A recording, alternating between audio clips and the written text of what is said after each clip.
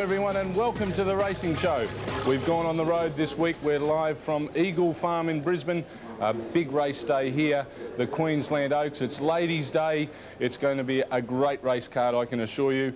And John Tapp, he's just having an easy day down in Sydney today, but we have plenty of experts on the panel as usual. Ken Callander, Alan Thomas and Shane Dye with us. Good morning to you fellas. Ken, you in particular, you look pretty fresh. But a week in this beautiful Queensland sunshine, Simon. All I'd need now is blinkers and I'll be worth backing. you do look very, very fresh. Now, we have a full team on deck for you today, and the man that's going to tell us all about the track is Simon Marshall. Word I've got for today's meeting at Eagle Farm, pristine. The weather is fine, the track is good, and the rail's in the true position. Let's have a look at some scratchings for today's card. In race one, number 14, Ridge Top is out. And in race three, number three, Free Mover is out. And an important scratching in race five, the Sires Produce Stakes, number 12, Curio Jade's out. That's all from me, Simon. It's back to you. Thanks very much, Simon. Now, the Queensland Oaks, as I mentioned earlier, that's the big race here today for the three-year-old fillies, and we've got the market for you now. Ken, let's uh, have a peek at it. Yeah, Melora, good alley last week, 16 today is favoured at 5 to 2 uh, in uh, Michael Sullivan's markets, 7 to 2 La Volta, uh, Colin Alderson's very good filly. Six to one, uh, Zackaline, the South Australian Oaks winner and only a lady. Seven to one, Palia from New Zealand. Nine to one, Midnight Babe from New Zealand. And 12s and over the rest. Five to two, Melora. Seven to two, La Volta. Let's have a look at that South Australian Oaks, eh? Why not? It's uh, you know a race, I suppose, that's uh, very prominent here today with uh, particularly Zackaline and La Volta. Yeah, here's uh, uh, going to the front for Shane Dye, and now La Volta out after her. She's not going to quite get her, but gets very close at the finish. Shane Dye, uh, they let you slip away a bit here, probably. Uh, you rode her pretty well. Yeah, thanks, Ken. That's nice of you to say, but um, she really did stay the 2400. Both fillies did, and they're going to have no trouble with the journey today. They're both going to be very, very competitive. The thing about them, what they've got over the other two fillies in Melora and um, Only a Lady, is the barrier draw. The Volt is drawn very, very well at three, and she's going to get the best run in the race. Are you going to go straight up to the lead again today? Yes.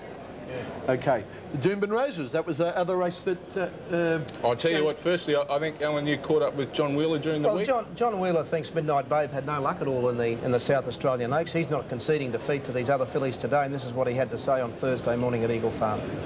John, her run in the South Australian Oaks, are giving this filly some chance.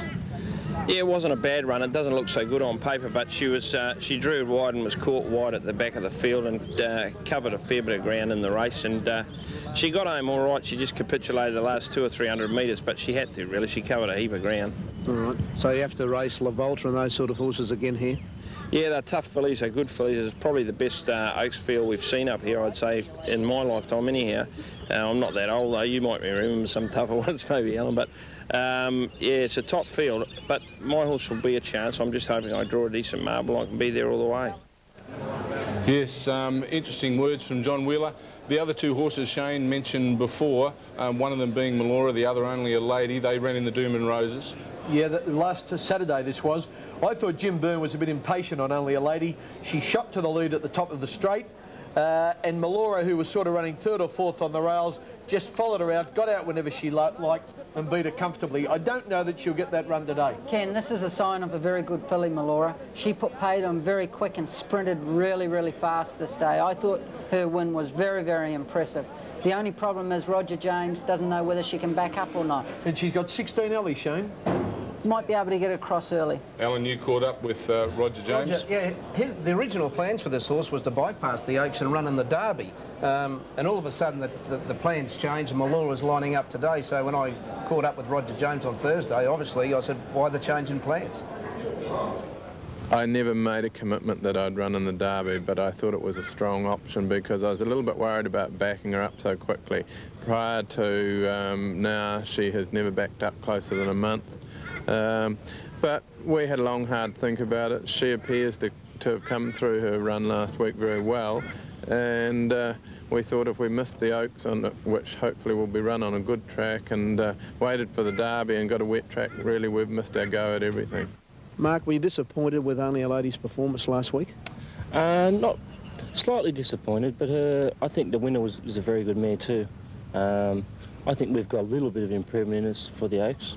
Um, and just hope the other filly doesn't back up as good, that's all. Hmm. She'd have to improve a bit, only a lady to beat Melora on what they did last week, wouldn't she? I think she would have to, yeah. But you've got to be there and try to. Yes, another of the big races on the card today is the QTC Cup. Let's take a look at the market for that race now. Ken, 3 to 1 favourite Laguna. Yeah, three to one favourite, uh, the Clarry Conners trained Laguna, stepping up in grade but very promising. Scandinavia, I like her. I think she'll run well. She's at seven to two. Six to one, the Query horse Al Mansour. Ten alley, 59 kilos. Sahara Z, the other Queenslander, at six to one. Eight to one, Mr Newmarket, and 12's Masked Party in City Hall. 16's and over others. Well, Al Mansour is the key to the race. I mean, he hasn't raced since the Carlton Cup when he sort of ricked, his, ricked a muscle. Um, I got up to Thornhill Park on Thursday morning, when you see these pictures, you see just how well he looks, Al Mansour, and I found out from Bruce McLaughlin just exactly where the horse is at. Al Mansour, give us an update. Well, you had a look at him there. He looks terrific. He had a setback, as you know, in the, uh, race at Doomben. We're happy with the way he's done, although you're still catching up. And, uh, you know, we feel he'll run very well in the Qantas Cup. He's got a lot of weight. And uh, if he comes through that well, well, we go on to the Stradbroke from there. But we're more than happy with, with the horse. And he hasn't missed a great deal of work, and he has worked brilliantly in the last uh, 10 days. So if he can run this race and come through it and then pull up well, well, I think he'll be right in the Stradbroke. Yes, Scandinavia and Laguna are two of the other great chances in this race today. The last time they stepped out was in the Goodwood in Adelaide, and uh, both pretty good runs, Kent. Yes, uh, Scandinavia in, uh, in this race, and uh, I think that she's a very, very good filly. Uh, she gets to the line well, but the winner, the Perth horse, is just too strong and uh, goes home much better than her. She's a filly that's been a little unlucky. I, I think she d- deserves to win a big race. Yeah, here's Laguna. Um, he's been impressive, but he hasn't meet horses like this today. These are second-rate horses he's been beating in Sydney and uh, in Brisbane like this. But you've got to remember, Scandinavia's been winning or running in Group 1 races, uh, drops today in class, whereas this other horse goes up in class, and that could be the difference. Scandinavia, I think, will beat Laguna myself. And uh, Al Mansour, 59 kilos, 10 alley. I don't know if he can carry that and beat these horses at his top. If he can do it today, I'll be surprised. I might have to go and get a fair dinkum job if he can do that, Al. I think I'm not a racecourse If, tipster. if he happens to win today, the Stradbroke market will be in total disarray. Will it what? Now, I tell you what was in disarray last week was um, the Queensland-New South Wales relationship. And as we go to the break, we give you one of your favourite Queenslanders, Trevor Gilmeister. He's going to give us our celebrity tip. Well, my tip today in the Queensland Oaks is Pallia, trained by Laurie Laxon, and it's ridden by informed jockey Greg Charles at a big autumn carnival. It's drawn 11, but that won't be a problem, and it should be at each way odds.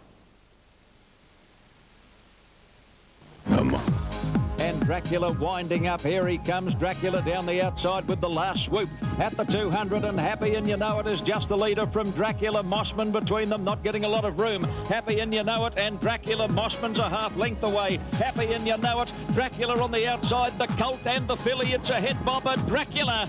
Dracula wins the Champagne Stakes about a short. It's Dracula winning the Champagne Stakes there at Randwick. And that horse is one of the favourites for the Sires, over 1,400 metres here today. Let's take a look at the market right now. And Ken, uh, he should should be on top at 5 to 2. Yeah, I just think uh, the wet tracks may have flattered him a little bit. He's at 5 to 2, Mossman at 7 to 2, 6 to 1 lease, very promising, but just might be a bit early for him.